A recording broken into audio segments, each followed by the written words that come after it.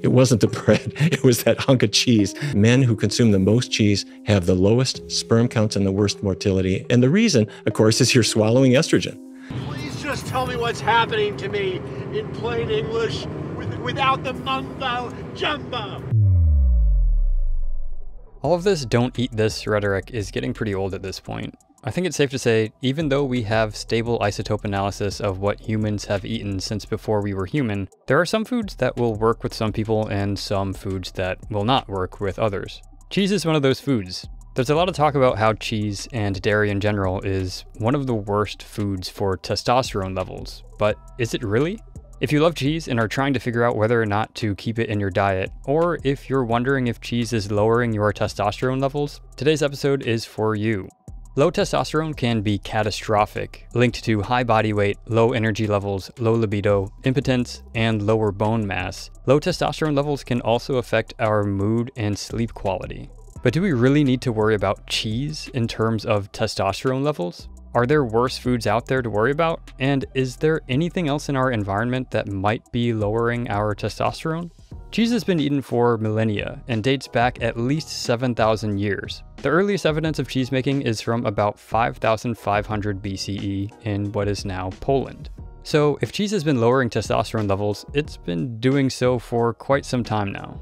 The thing is that studies about this are a mixed bag, with some showing cheese might have a testosterone lowering effect and others showing otherwise. Most studies also don't indicate what type of cheese is being consumed. Is it raw cheese like Parmigiano Reggiano, soft cheese like brie, cheese products like American cheese, or shredded cheese, which contains things like cellulose, which is sawdust, or other non caking chemical additives?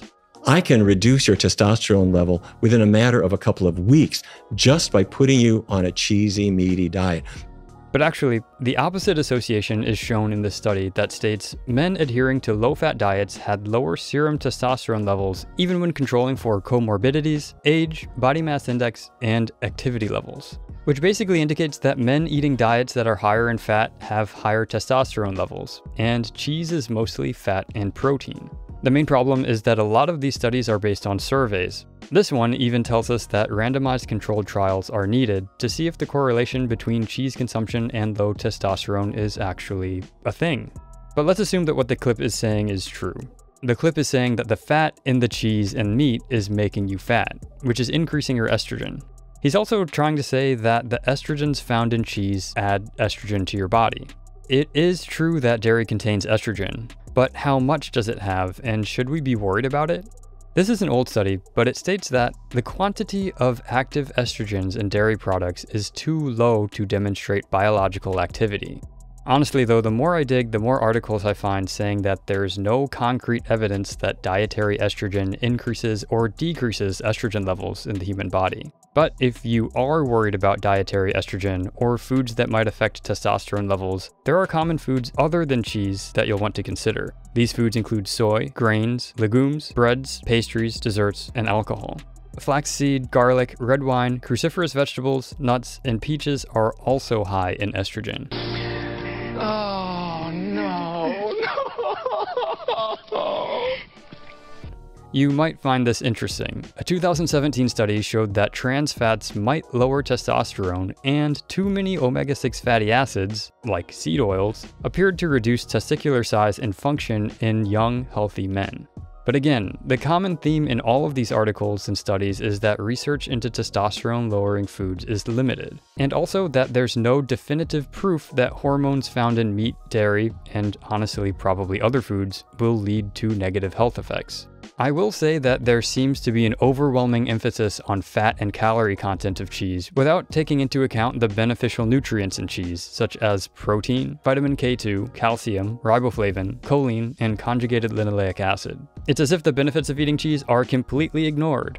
Is it good to eat pounds and pounds of cheese per day? Is it good to eat cheese if it gives you gas, constipation, or other problems? Probably not the best ideas. Is it worth including in your diet if you're feeling better eating it?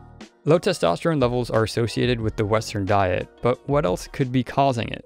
Could it be chronic exposure to endocrine disrupting chemicals like bisphenols, phthalates, forever chemicals, pesticides, or herbicides? Books like Dr. Shanna Swan's Countdown and the research of scientists like Dr. Tyrone B. Hayes seem to point in that direction.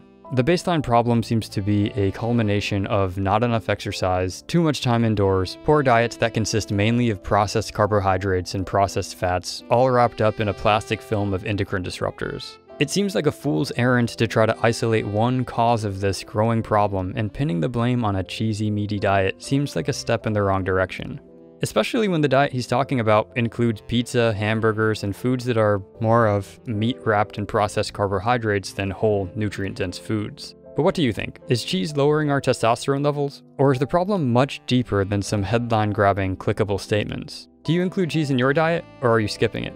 Do you think it might also be a problem of what types of cheese people are including in their diets? Like if it's made out of goat milk or cow milk, if it's raw or pasteurized cheese, or if it's processed cheese product versus actual cheese? Let me know in the comments below. Hit the like button and subscribe for more content like this. Thank you so much for watching. Take care.